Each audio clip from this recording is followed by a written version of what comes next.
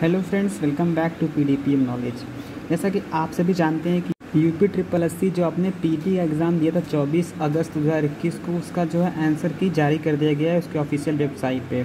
तो आंसर की आप अपना मिला सकते हैं और साथ ही साथ आपको ये सूचना भी दी गई है कि आप जो है सात सितंबर से पहले अगर आपको लगता है कि आपके आंसर की में ये नहीं होना चाहिए आंसर इसका अलग होना चाहिए तो आप इसके लिए क्लेम भी कर सकते हैं। तो सात अगस्त डेट दिया गया है। यूपी पीटी का एग्ज़ाम आपका जो चौबीस अगस्त को कराया गया था दो पालियों में और आपका जो आंसर की जो है इकतीस अगस्त को जारी किया गया और सात सितंबर तक आप जो है ऑब्जेक्शन कर सकते हैं आंसर की पे।